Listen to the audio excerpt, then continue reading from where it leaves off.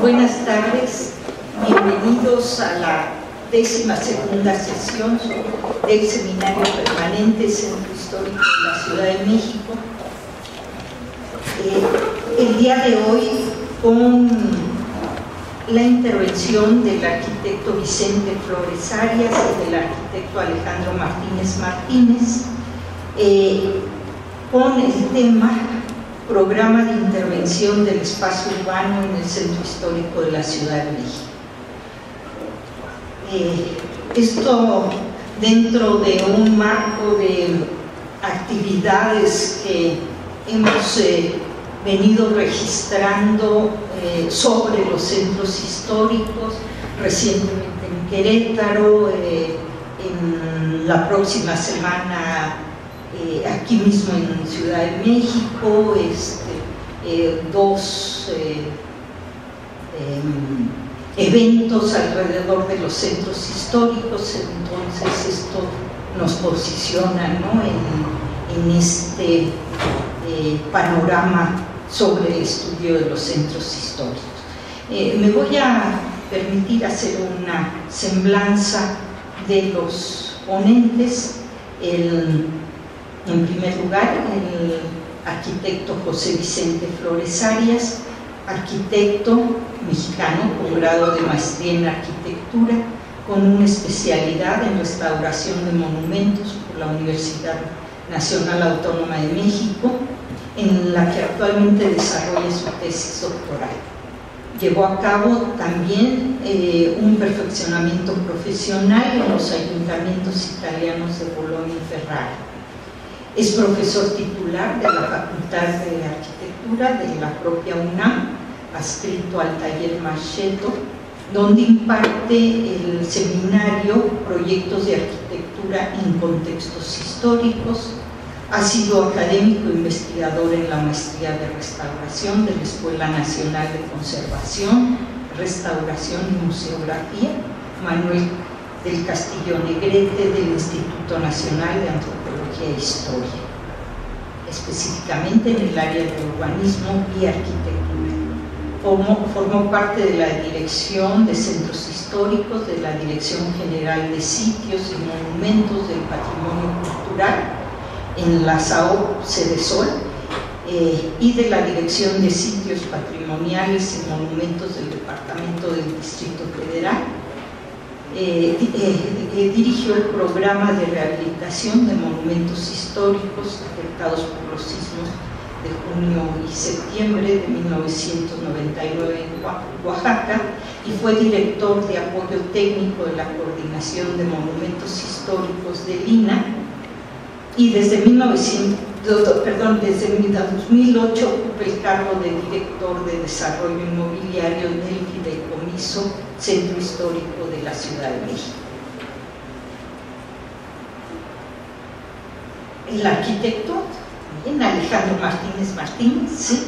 eh, maestro urbanista, eh, con dos maestrías, una en urbanismo mm, en el programa La Ciudad, Políticas, Proyectos y Gestión que dirige eh, Jordi Borja, em, que lo llevó a cabo en Barcelona, en la Universidad de Barcelona.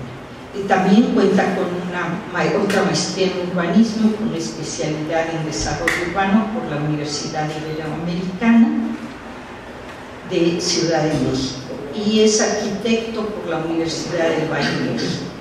con una amplia experiencia profesional, actualmente director de proyectos sustentables en la Secretaría de Obras y Servicios del Gobierno de la Ciudad de México, eh, ha sido también director de la coordinación urbana en la Secretaría de Obras y Servicios del Gobierno de la Ciudad de México. Eh, a su cargo se han realizado actividades de eh, gran trascendencia para la, planeación urbana, entre los que destacan proyectos eh, como el Corredor Cultural de Regina, el Corredor Cultural Alóndiga, el Corredor Cultural Vizcaína y otros eh, proyectos relevantes. Mm. Eh, cuenta con otras actividades sobresalientes destacando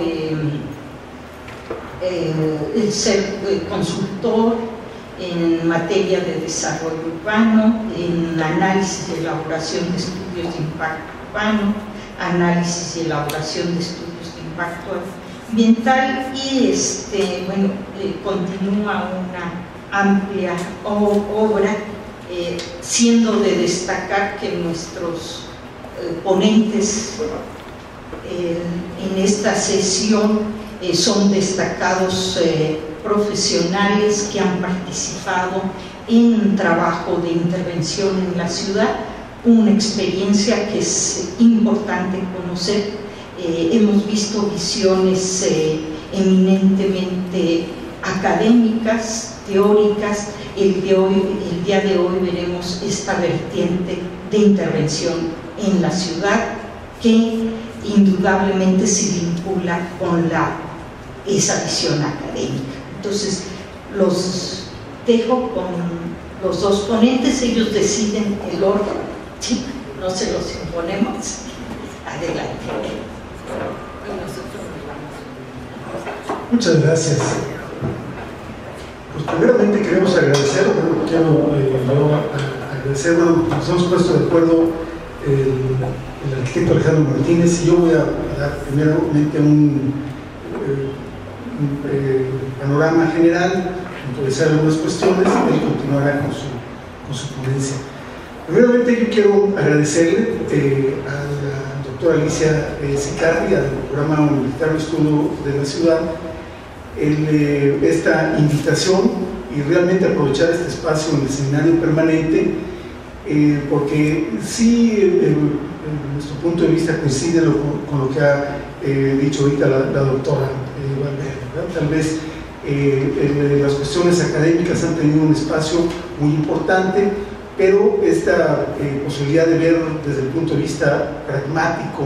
qué, se ha hecho, cómo se ha hecho, qué dificultades se, han presentado en estas cuestiones, nos permitirá tener una visión más amplia de lo que ocurre en, lo que ocurre en los centros históricos a través del caso del Centro Histórico de la Ciudad de México. Muy bien el Centro eh, Histórico de la Ciudad de México creo que eh, posee unas cualidades eh, muy importantes. están enunciadas ahí, uno que es el uso simbólico del, espacio en el que cualquier evento que aquí ocurre adquiere una connotación particular. No es lo mismo comprar, pasear, visitar, estar en, un espacio del centro histórico que hacerlo en otro eh, lugar. La segunda cuestión es que se trata de un espacio público eh, vital en el que también cualquier acción que ahí se, se desarrolla adquiere una proporción diferente, que tal vez se magnifica y genera procesos de sinergia de una manera eh, extraordinaria. Y también esta otra cuestión en que eh, este sitio, el centro histórico, eh, admite que las transformaciones que en este ocurren se procesen y eh, se vayan integrando de nuevo a la naturaleza del centro histórico. Esto significa que, las, que todas las actividades que ahí se desarrollan, aunque en algún momento parezcan eh, eh, puntos trascendentales o de ruptura, al poco tiempo se convierten también en parte de esta eh, tradición. El centro histórico realmente integra y es capaz de irse transformando y manteniéndose de una, con esta presencia permanente. esta es una fotografía que ya quitaron de, Google Maps hace unos unas semanas, ya está, ahorita se parece más el Google Maps a lo que vemos en nuestra ciudad. Pero en esta fotografía alcanzamos a ver cómo era el centro histórico antes de 2007. Hoy coincide la, la, fecha en que nos reunimos, el 12 de octubre, con la fecha en que salió el comercio ambulante. Y ahí lo podemos ver todos estos cuadritos amarillos verdes, azules, naranjas, que ocupaban verdaderamente el, espacio, las calles del centro histórico. Este es un mapa de lo que era aquella ocupación que nos permite ver cómo el 75% del área del perímetro del centro histórico estaba ocupado por la actividad de comercio en las calles. Eh, esta es una, una eh, realidad que eh, condicionaba el aprovechamiento del centro histórico. cuando estas imágenes nos, nos permiten ver cómo, cómo estaba, cómo eran aquellas, cómo era aquella situación y cómo quedó después de, de haber desarrollado este pacto. Eh, y de ahí el que se dio eh, esta, eh, este planteamiento para poder esbozar un nuevo sistema, un modelo de gestión novedoso para el centro histórico. Nuevo en el sentido de que fue expresado en este último tiempo con un objetivo muy claro, que era el de, lograr una mejor calidad de vida para los habitantes del centro. Se plantearon ahí cuatro estrategias eh, eh, básicas. La de recuperar el espacio eh, público, esto es volverlo a poner en condiciones de, operación, que es realmente lo que nos va a, comentar después Alejandro Martínez. La otra estrategia era consolidar las condiciones de seguridad pública, revitalizar las actividades económicas y sobre todo darles un sentido de sustentabilidad, de organización, de programación y de proyección hacia el futuro a través de un plan de manejo. Se identificaron también los actores de toda, eh, que participaban o que tendrían que participar en este eh, nuevo modelo de gestión y de ahí se, se diseñaron una serie de programas ¿Qué son los que vamos a tratar de, ilustrar? Habrían más, ¿verdad? Eh, trataremos solamente de esbozar, esto no sería, no es un, informe de trabajos, ni mucho menos, es solamente tratar de mostrar una imagen general de cómo se ha eh, actuado. Eh, yo hablando desde la trinchera, desde el punto de vista del fideicomiso Centro Histórico de la Ciudad de México, que con la autoridad de, la ciudad del centro histórico eh, eh, tenemos, digamos, la responsabilidad de proteger, trabajar en el centro histórico, pero sobre todo buscar su desarrollo. Este es un plano del, del centro histórico, su perímetro A y B, y me parece que lo más interesante son estos números que existen aquí, ¿verdad? en el que podemos ver que tiene, digamos, 6.000 predios eh, en, conjunto, pero si nos, nos, fijamos por aquí, dice cuentas catastrales en las que encontramos que para el, perímetro A, en el que hay, digamos, 3.000 predios, tenemos 16.000 cuentas catastrales. Esto significa que en promedio cada propiedad está dividida en cinco o seis eh, cuentas diferentes. Tomamos en cuenta que el Palacio Nacional ocupa una manzana y es grandotote, Catedral igual, entonces vemos que el promedio es verdaderamente altísimo y que esto implica unas dificultades eh, interesantes para eh, la gestión del centro histórico. uno de los, de los, primeros programas que planteamos una vez que se logró recuperar el centro histórico era el de poder plantear esta nueva forma de utilizar el centro a través de eh, el, tránsito eh, vehicular, apoyar la circulación eh, de las personas, no en vehículos, sino pie. Y se planteó una, en una visión estratégica el poder apoyar una serie de corredores peatonales que permitieran lograr recorridos por el interior del centro histórico, ajenos a los grandes, eh, digamos, a las circulaciones tradicionales de los automóviles. Ahí podemos ver en, esta eh, lámina estos cuatro grandes corredores. Primero, de Regina, el de Alóndiga, este de San Ildefonso, este de Garibaldi y finalmente el de eh, Eh, un eh, papel importante también lo juegan, aparte de este rescate de la movilidad peatonal, el rescatar edificios que hasta ese momento habían permanecido sin actividad. Una de las condiciones que tenía el centro histórico con eh, los eh, comerciantes sobre la vía pública es que hacían, posible, hacían imposible que se llegara hacia edificios y muchos de ellos estaban ahí sin que nadie pudiera eh, hacer nada, por ellos. Todos nos acordamos de uno o dos casos que ocurrieron en que unos niños, por ejemplo, ahí en la calle de Argentina, a las 11 de la mañana tiraron una veladora en su recámara se incendió la cortina, se prendió la casa y los bomberos pudieron llegar a las 8 de la noche cuando se habían quitado ya los comerciantes de la calle. Entonces, estas condiciones de, poca accesibilidad habían llevado a que muchos de los edificios tuvieran vacíos. Se han rescatado o se están rescatando edificios como este, que es en la calle de Regina, que va a ser el Museo de las Libertades Políticas, en la calle de Regina, cuando se convierte en una calle peatonal, había un predio de un estacionamiento y el propietario en un principio decidió ampararse y posteriormente cuando eh, fue posible hablar con él y hacerlo entender que había otras posibilidades para su predio, él accedió a venderlo y convertir este sitio en un lugar para esparcimiento infantil. Se colocaron unos los juegos y realmente donde en un centro histórico en el que está todo construido, de pronto hubo la posibilidad de tener un espacio también para, eh, eh, para los niños. Eh, este es el rescate también de otro edificio importante, el edificio Ruble junto a la Latinoamericana,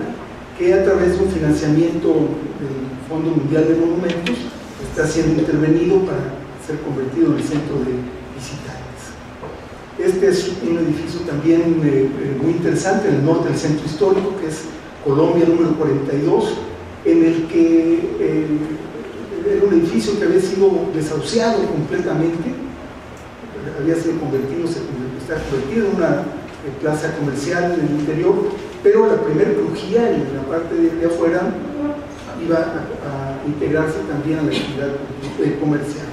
Pero un investigador muchacho Flores Magón, Diego Flores Magón, encontró esta fotografía, vemos que es la de 1910, el que dice la, la Constitución ha muerto, es la sede del hijo de la Huizope, y nos dimos cuenta que esta fachada, esta fotografía, estos balcones, son precisamente los balcones de esta casa. Entonces, a través del rescate de este, de este edificio, estamos en la posibilidad de recuperar el, este edificio verdaderamente eh, un, eh, eh, emblema de la revolución mexicana para la actividad cultural en el centro Hoy podemos ver con estos, a través de estos, de estos procesos cómo se logra identificar perfectamente el edificio. Estamos trabajando ahorita en la reestructuración y en breve estará en marcha. Otro de los proyectos interesantes es el de la secundaria número uno, que estuvo, está construida en lo que fue el seminario conciliar, que desde 1929 fue la primera secundaria, ¿verdad? Y que eh, por estas condiciones ha ido perdiendo eh, eh, realmente cualidades de operación. Está siendo intervenida en breve. Otra de las cuestiones importantes que ha sido uno de los factores de esta vuelta a la atención al centro histórico es el del arreglo y la recuperación de las fachadas de los edificios. Lo más importante de este asunto es que más que atender las fachadas de los edificios, se ha buscado entablar una relación con los vecinos, con los propietarios, con los habitantes del centro histórico, para que sean ellos los que eh, acompañen la gestión tanto de recursos como de trabajos para que sea posible tener una nueva imagen en el centro histórico, pero sobre todo sea posible restañar el tejido social de las personas que realmente sufrieron durante 20 años unas condiciones difíciles en el espacio del centro histórico. Eh, son trabajos en los que se manejan las cuestiones básicas de acabados en las fachadas, pero que logran darle este sentido de, conjunto y de atención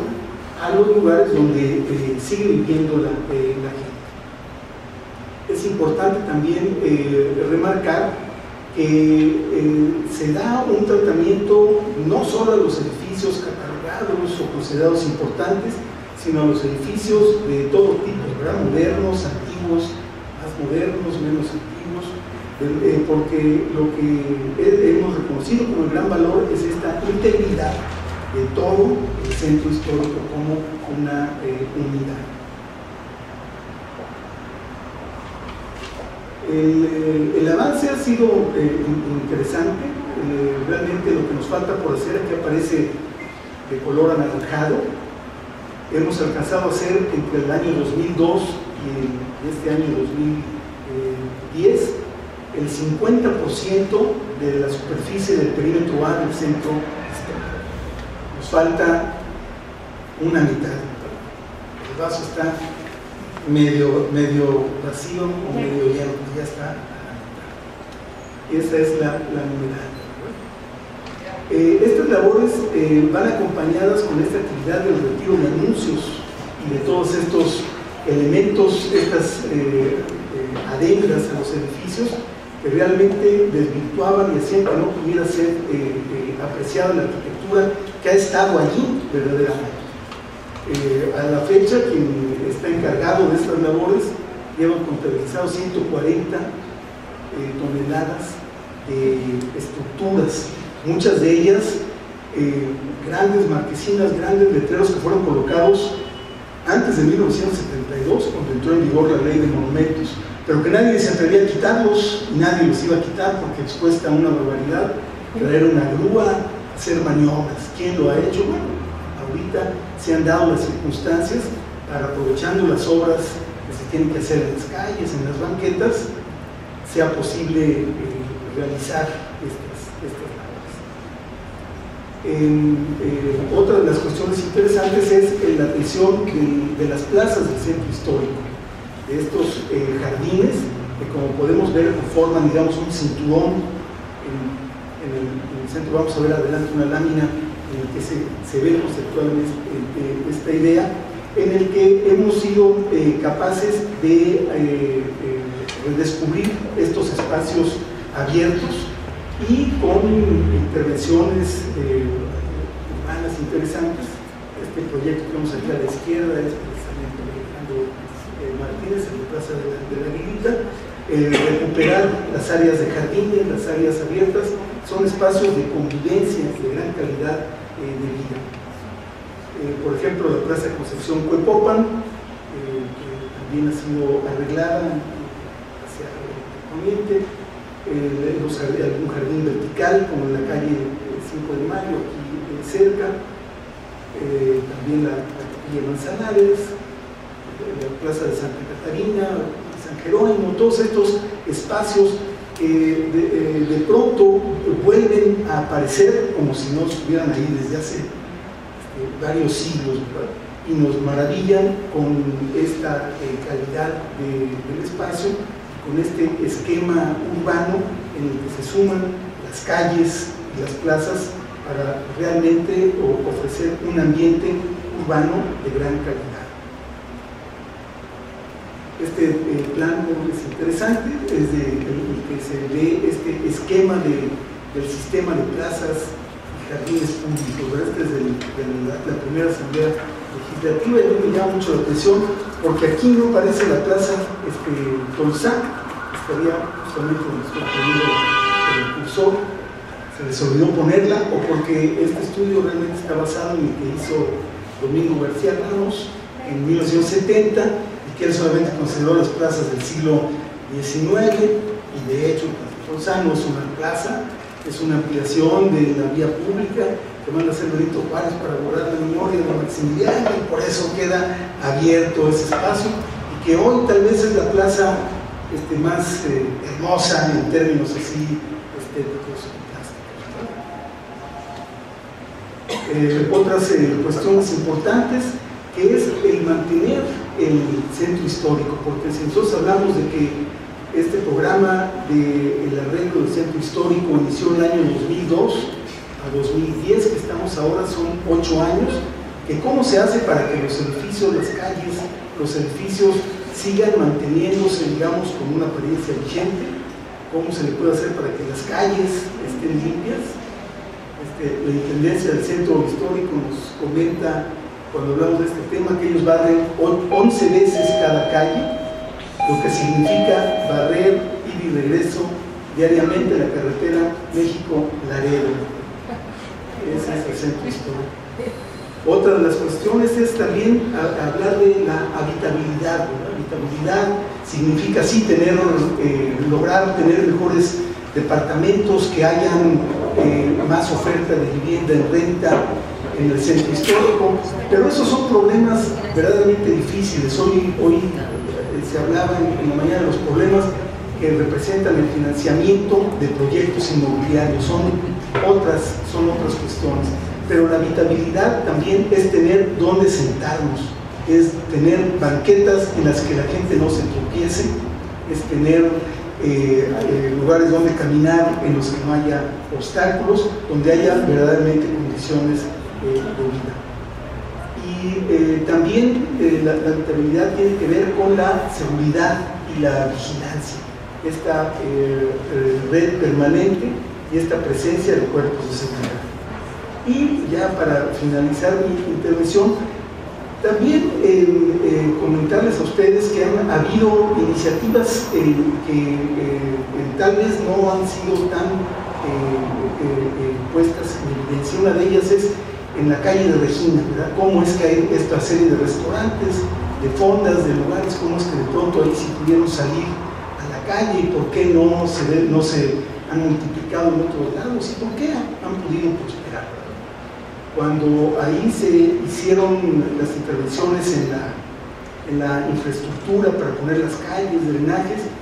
eh, eh, realmente nos pudimos dar cuenta de las condiciones que tenían esos locales. Y verdaderamente veíamos que si teníamos ganas de que hubiera ahí restaurantes y cafés, lo primero es que hubiera condiciones de higiene mínimas, cómo se podían garantizar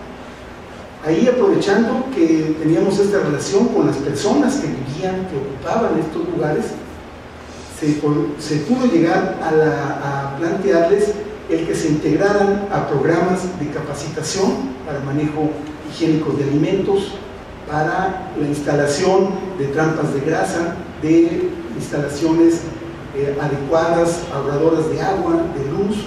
de tarjas de acero inoxidable, de todos estos implementos que solamente si se trabaja de una manera organizada es capaz de, llevar a cabo.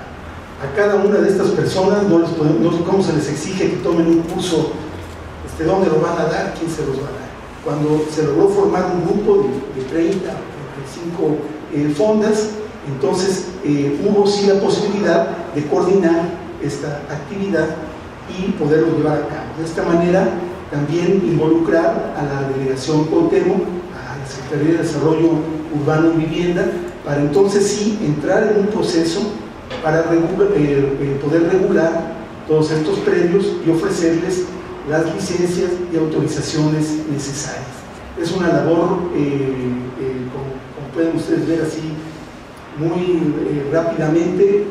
complicada, de muchos que implica, eh, que, requiere la colaboración de muchas personas de diferentes eh, áreas para poder eh, tener como resultado no solo una calle peatonal, finalmente lo que nos gusta, pero que tiene estos locales con una calidad en su servicio y que pueden ofrecer a las personas un espacio adecuado ya de acuerdo a los modelos del siglo, eh, del siglo XXI. Eh, eh, realmente lo que yo quisiera, quisiera yo concluir es llamar la atención a que por lo general se le da o se le ha dado mucha atención a la relevancia de arreglar los edificios y de mantener las, eh, las eh, cualidades formales del centro histórico como los grandes valores patrimoniales que conforman el centro histórico. Y en cambio, creo que aquí puede haber una muestra de que lo más valioso del centro histórico es la gente que lo vive, la gente que en este desarrolla su trabajo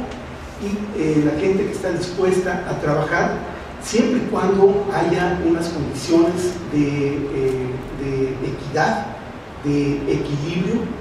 de, sana competitividad y que se permita llevar a cabo las cosas de una manera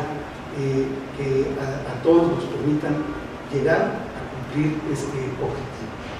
Yo con esta breve plática le cedo el micrófono al arquitecto Alejandro Omar.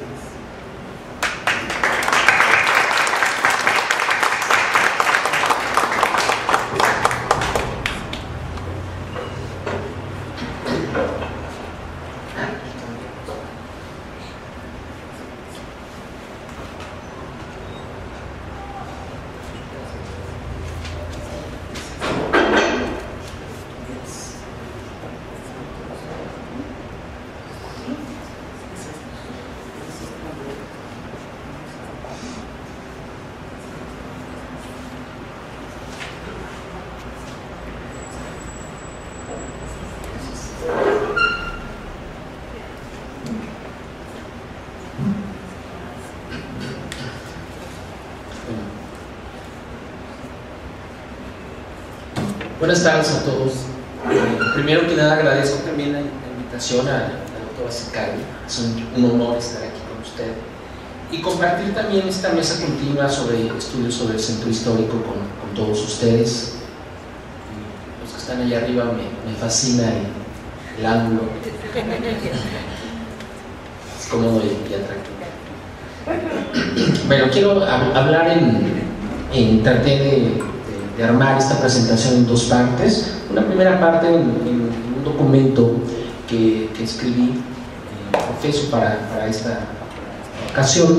y después veremos de una manera mucho más dinámica, mucho más contundente, eh, apoyado en las fotografías, en los gráficos, todo el tema de la intervención en el espacio urbano del centro histórico.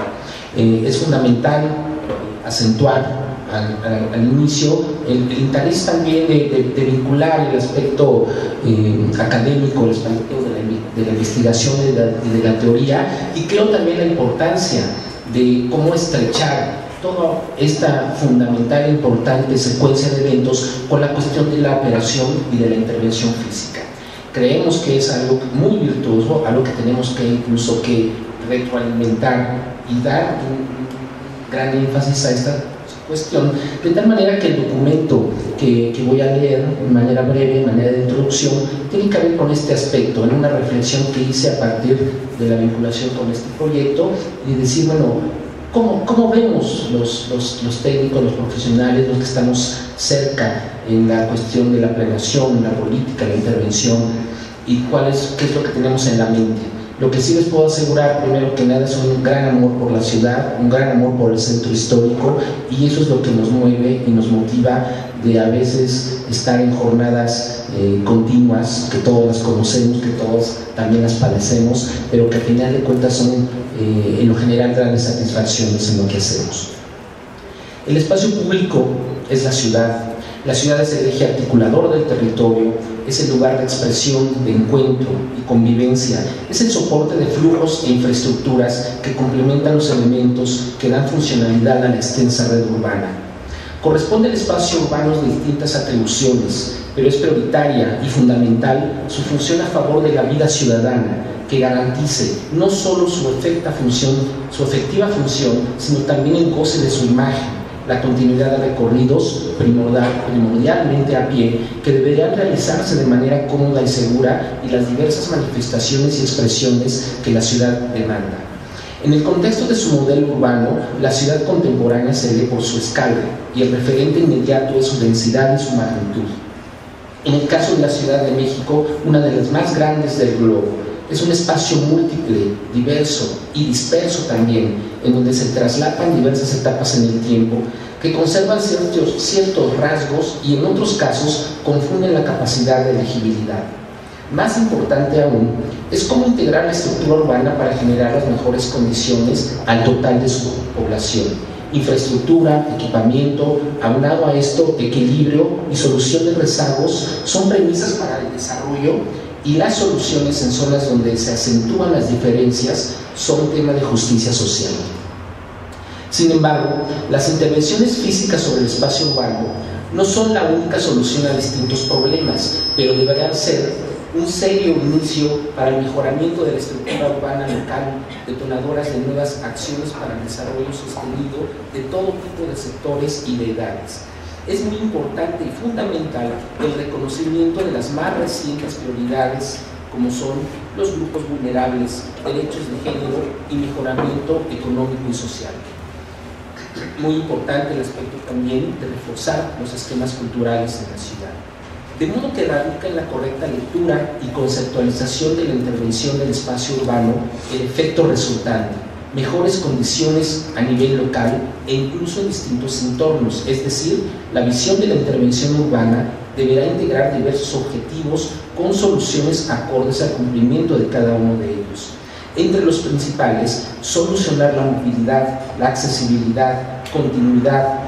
conectividad y de gran importancia generar espacios múltiples para el desarrollo del mayor número de actividades y tipos de expresión. Técnicamente, la intervención del espacio urbano radica inicialmente en un proyecto estratégico. Desde el sentido de la distribución administrativa, deberá dotar de los elementos y servicios básicos a los habitantes de la ciudad. El espacio público el espacio funcional y con valores estéticos resueltos es un derecho ciudadano. De allí la importancia de los proyectos de intervención del espacio urbano, congruentes con las necesidades y, potencial, y potenciales en su entorno, que escuchen las necesidades puntuales que pocas veces tienen la misma solución entre una intervención y otra de manera continua la gestión que acompaña y garantiza las condiciones óptimas para el uso y aprovechamiento de estos espacios.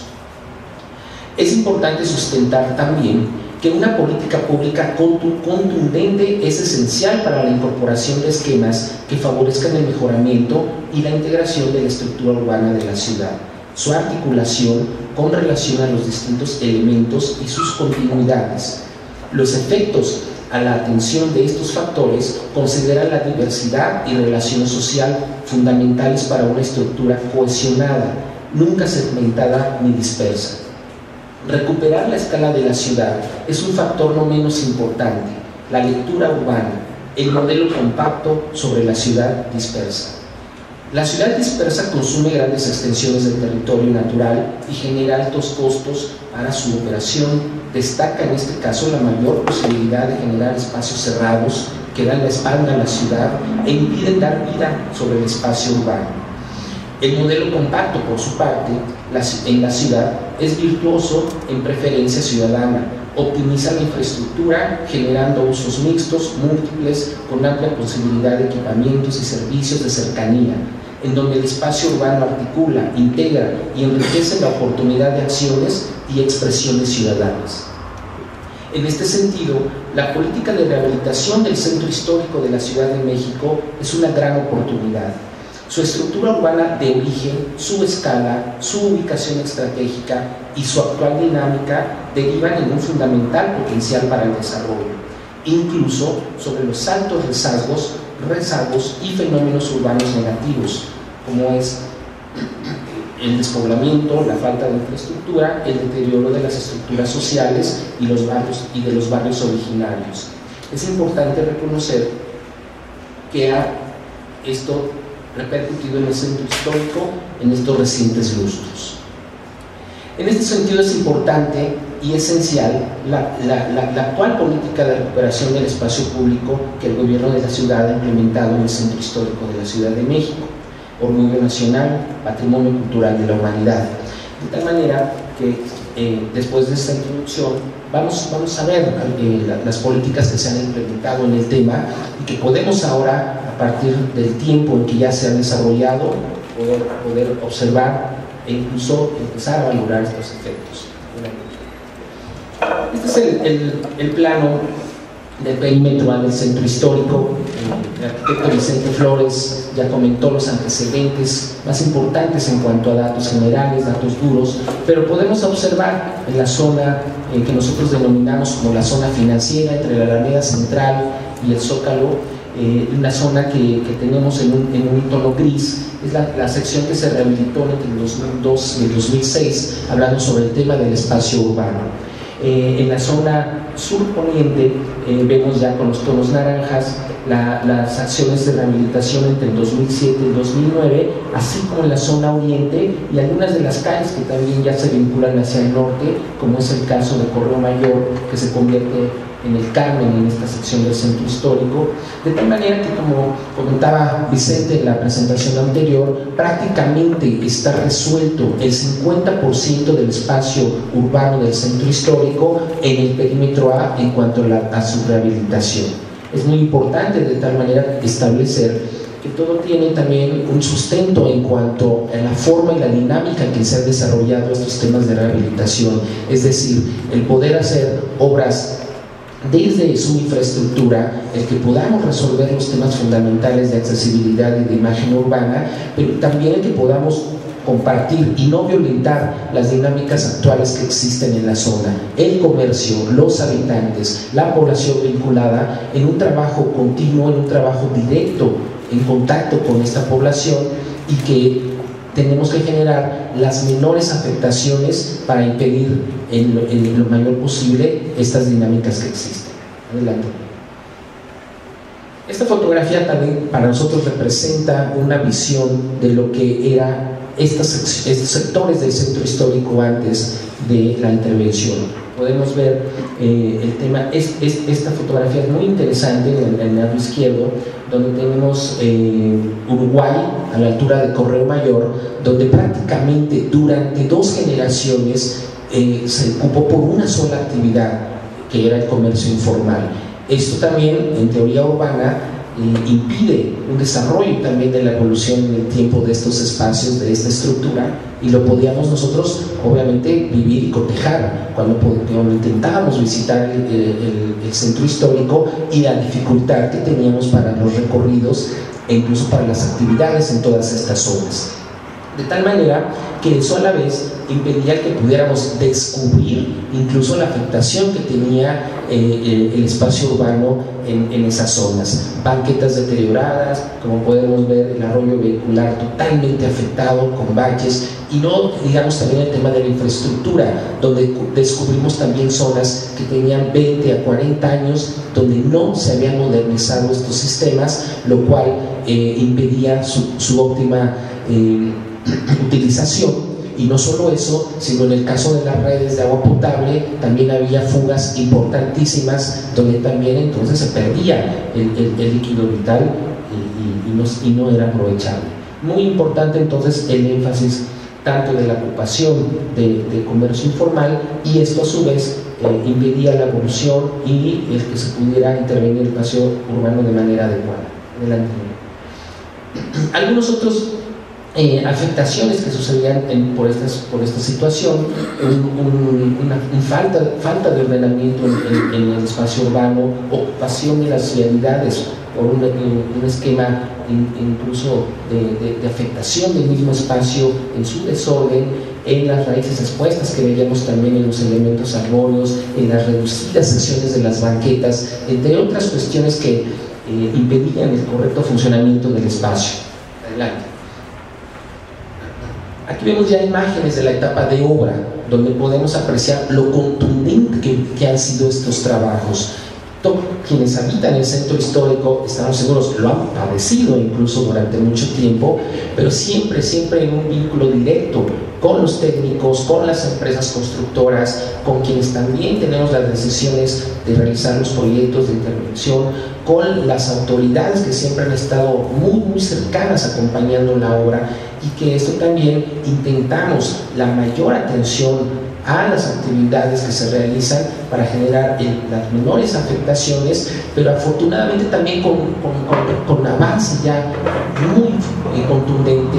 fundamental en el tema de recuperación del espacio del centro histórico que ahora también ya podemos gozar, podemos vivir en sus espacios. Adelante. Eh, estas fotografías eh, adicionales también nos parecen muy importantes, un proceso más avanzado de la obra, las calles en, la etapa final de la rehabilitación, eh, vemos en el caso de la fotografía en el extremo derecho, el caso de Regina, donde también nos vinculamos con instancias que tienen que ver con, con el valor patrimonial de, de, los inmuebles, en donde estamos afectando, donde estamos interviniendo, la recuperación de niveles de los edificios históricos también ha sido un énfasis en el que hemos trabajado, además en coordinación con las distintas instancias que tienen que ver con estas actividades, para que podamos a su vez también rescatar el esplendor de las edificaciones del centro histórico, recuperar las escalas, abrir las nuevas perspectivas y no solamente entonces es eh, la virtud de recuperar el espacio urbano, sino también de revalorizar el patrimonio de los inmuebles y de los muros del centro histórico en Sierra. Adelante, Miguel. Eh, imágenes también, que son ahora imágenes tipo de lo que podemos ver en las zonas rehabilitadas, como podemos observar, una de las políticas que se han establecido y creemos nosotros que es de las mayores virtudes es la ampliación de las secciones de banquetas. Actualmente teníamos banquetas que en promedio entre un metro a dos metros, en casos incluso con menores secciones como eran, y que todos las conocimos en su momento, el caso de Isabel Católica, el caso de Bolívar, donde era imposible incluso también caminar sobre estas banquetas, porque además también las encontrábamos aunado a la sección reducida en malas condiciones con raíces expuestas que se convertían en bloqueos, con elementos adicionados en su momento, que eran también algunas medidas eh, generalmente infructuosas para, pedir, para impedir que también se estableciera el comercio informal y que al final de cuentas se convertían en verdaderos bloqueos para el recorrido eh, de los peatones. De ahí entonces se toma la decisión de ampliar las banquetas en una ecuación que actualmente seguimos manejando, donde, donde reducimos a dos carriles que soluciona de manera correcta la accesibilidad y la continuidad vehicular y esto generalmente en la estructura urbana del centro nos libera la sección de banquetas a, entre 3 a 4 metros en promedio, lo cual ya resulta eh, totalmente virtuoso para el recorrido y por la densidad que se tiene en el centro histórico. Y como podemos ver, adelante Miguel, en en estas fotos complementarias eh, nos permite también generar una, mejor imagen urbana, el, reacomodo, incluso la reubicación del mobiliario urbano, también eh, enfatizando su correcta colocación, el reforzamiento de todos los postes iluminarios para que podamos también tener una eh, correcta y vida continua en, la etapa de, la noche y fundamentalmente también la reforestación que se, que se ha realizado. Adelante, Estas fotografías también son muy significativas. Aquí podemos ver, en el caso de Isabel de Católica, las nuevas secciones de banquetas, donde ya podemos también caminar, muy importante el tema de la accesibilidad, donde personas con discapacidad, en silla de ruedas, con bastones, con el uso de estos elementos necesarios para en esos factores puedan también realizar sus recorridos de manera cómoda y segura. Adelante. Aquí mostramos algunos de los elementos que son característicos en el tema de la rehabilitación, como es el, poste iluminario en un estilo clásico, en, 1900. Tenemos eh, el tema de los terminados, el arroyo vehicular que conserva el tema de la piedra de río, lo cual nos da también un aspecto mucho más integrado a la imagen del centro histórico, la guarnición en concreto prefabricado y la banqueta que también tiene rasgos de identidad con el, eh, valor patrimonial del centro. en los semáforos se ha incorporado también el semáforo peatonal, la idea es reforzar eh, y que, podamos tener mejores condiciones para el peatón, priorizando incluso en las soluciones de diseño sobre el automóvil, como también veremos y en, ejemplos posteriores. Y los cruces que ahora son también más funcionales y seguros. Manejamos lo que es una rampa en abanico que abarca la totalidad del cruce peatonal, enfatizando también el mismo con vialetas que, lo, que nos delimitan correctamente la sección del cruce y con el cambio de material, lo cual nos da una, una, imagen también mucho más apropiada para enfatizar, para inducir al peatón que cruce en el lugar indicado, en el lugar donde él lo hará de manera cómoda y segura y que ponga obviamente en mucho menor riesgo su integridad física. Este es un ejemplo que vemos, este es un cruce, es la calle de Bolívar con, con Uruguay, donde podemos observar de manera clara estas nuevas características que nos dan seguridad, que nos dan continuidad y que sin duda inician también todo este proceso en el que podemos eh, enfatizar y generar el espacio urbano como este lugar de encuentro, de convivencia, de interacción, de usos múltiples y de diversas actividades, que es todo este fundamento teórico que plasmamos en el esquema de la solución de los productos. Muy importante en esta fotografía creo que es una fotografía muy significativa donde hablamos de la incorporación en esta nueva política de intervención del espacio urbano del centro histórico de las calles peatonales. Hemos enfatizado el, rubro del corredor cultural, como es el corredor Regina, donde no solamente es incluso el tratamiento del espacio, la sección a un solo nivel, sino impulsar todas estas manifestaciones que van de la mano, un espacio que estaba eh, eh, destinado para el automóvil, donde estaba priorizado incluso para su, su, ocupación, pero que esto a su vez ya generaba condiciones adversas del espacio, lugares inseguros, lugares donde había y existía una anarquía en cuanto al control y el desarrollo de la actividad.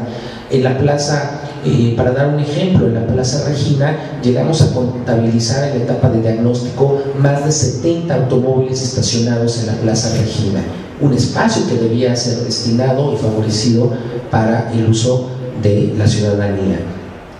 La fotografía es una fotografía del Corredor Cultural Regina.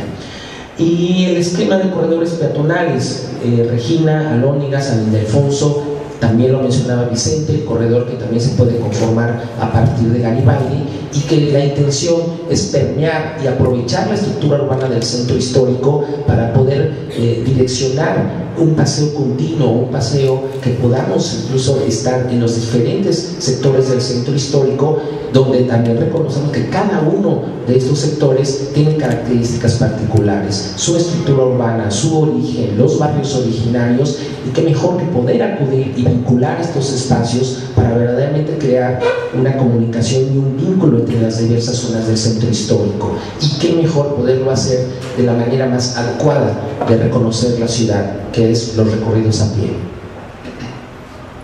Adelante. Eh, imágenes también recientes de Regina, podemos observar incluso el esquema eh, muy rápidamente la cuestión conceptual de diseño, el liberar al centro de la calle un espacio abierto, continuo, que generemos perspectivas, que nos invite a caminar, que nos invite a, visualizar los destinos. Si, vemos el caso de Regina, todos podemos eh, detenernos desde 20 de noviembre y observamos la torre del templo Regina. Esta es una intención franca de diseño, el que podamos generar el destino y el que volteemos, que veamos el remate visual y nos invite a caminar. El que no tengamos barreras al frente que nos delimiten la intención del recorrido. Esta es una, una sensación que percibimos en un visitante, un usuario común o de una manera técnica un poco más elaborada, pero que el efecto incluso es también un tema de diseño importantísimo que recibe y recaba todas estas intenciones también teóricas que, hemos comentado. Adelante. Eh, mm, para mí fotos significativas el elemento del agua, que sin ser, eh, como de repente se pudiera mencionar, un, desperdicio de líquido vital, al contrario, es un aporte incluso que brinda humedad, que brinda ambiente, muy importante generar humedad en los espacios del centro histórico y que además en el caso de Regina nos enfatiza el recorrido peatonal y nos enmarca incluso la belleza arquitectónica del templo Regina. Importantísimo también el centro histórico por la noche. Como podemos ver en el caso de Regina, hay un estudio de iluminación muy detallado en el que podemos gozar Regina en un recorrido también continuo por la noche, es importante decir, en un recorrido de casi 800 metros que tiene esta etapa del corredor, tenemos tan solo 20 eh, postes en separaciones, eh, en distancias interpostales de 22 metros, lo cual nos permite enfatizar las edificaciones, enfatizar la perspectiva y tener el menor número de postes durante el recorrido. La iluminación además es una iluminación que acompaña el ambiente de la zona, no quisimos abusar de luz, no es una cancha deportiva, es un lugar ambientado, es un lugar con, con una correcta solución para la convivencia y esa es la intención del régimen. Adicionalmente, como podemos ver en la foto siguiente, tenemos el, el, énfasis de 10 fachadas en lo que es el recorrido, donde más allá de enfatizar la belleza arquitectónica de los edificios, es una visión urbana donde estamos enmarcando el recorrido peatonal y donde vamos descubriendo a cada paso que vamos generando un siguiente edificio iluminado, lo cual nos marca una ruta continua del recorrido y eso obviamente eh, desde, la técnica del diseño nos implica eh, un, recorrido mucho más cómodo y mucho más agradable. Eh, bueno, algunas fotografías más de lo que podemos ver con el efecto de la ciudad en la noche. Además, como todos sabemos, el centro histórico con vida nocturna también es un centro productivo, es un centro más seguro, es un centro que nos garantiza también una mayor cohesión y posibilidad de ocupación de sus espacios. Adelante, En el tema de Regina, eh, como podemos ver ahí al centro se señala la plaza, las calles en amarillas también son calles ya rehabilitadas, queremos aquí argumentar la contundencia de, esta intervención, eh, eh, no solamente es el corredor peatonal cultural, sino también la intervención de las calles continuas. El caso de Bolívar, como podemos ver en el sentido norte-sur, que se vincula también con Regina, pero hacia el norte, a otras zonas, y que además es una calle actualmente bellísima e importantísima incluso por su dinámica comercial, por la oportunidad de desarrollar también este, este, este, experimento y, esta oportunidad de convivencia, el tema de los instrumentos musicales, de que podamos los, jóvenes estar en estos espacios y que puedan también eh, desarrollar todo, todo este mecanismo de cohesión es muy, muy, muy interesante. Adelante. Estas son incluso condiciones eh, en, otras fotografías de lo que son eh, la, condición del, espacio urbano previo a la rehabilitación. En este caso son fotografías eh, muy muy recientes de la zona de Vizcaínas y donde estamos también direccionando ya una etapa de planeación para poder también intervenir estos espacios que comentaba también Vicente en su presentación, son eh, hacia dónde va la intervención y hacia dónde están las etapas de planeación para poder eh, incluso eh, dar continuidad al tema de la intervención en estas zonas. Adelante. adicionalmente, esta red de plazas públicas con calles peatonales es muy muy importante. Adelante, el esquema también es un esquema fundamental de nodos y conectores, lo cual nos vincula el espacio de una manera continua y que aquí enfatizo estos dos proyectos que para mí son proyectos con un gran, gran significado. El, caso de Manzanares, eh, Venustiano Carranza con circunvalación, zonas donde también tenemos información que dos generaciones no conocían estos espacios del centro histórico y que aún con grandes dificultades de la estructura social en estas zonas, ahora podemos llegar, ahora podemos participar. Sin duda alguna, ahora se pueden generar nuevas dinámicas para mejorar incluso las condiciones de los mismos. Callejón de Mesones, segundo callejón de Mesones, una zona también con grandes conflictos y donde pudimos intervenir el espacio físico y donde enfatizamos que la intervención física no es lo único para mejorar las condiciones, pero sin duda es una forma de poner el dedo en la llaga y a partir de eso también generar continuidad de acciones, programas, el reconocimiento también de la población en cuanto a la apropiación de estos espacios es importantísimo. De tal manera que estamos conscientes que es un gran primer paso y que, que continúa también una serie de acciones para mejorar de manera integral las zonas. En casos también fundamentales, eh, la incorporación del arco chino, eh, el jardín vietnamita, adelante Mireille, eh, iluminación de edificios también en el centro histórico muy importante,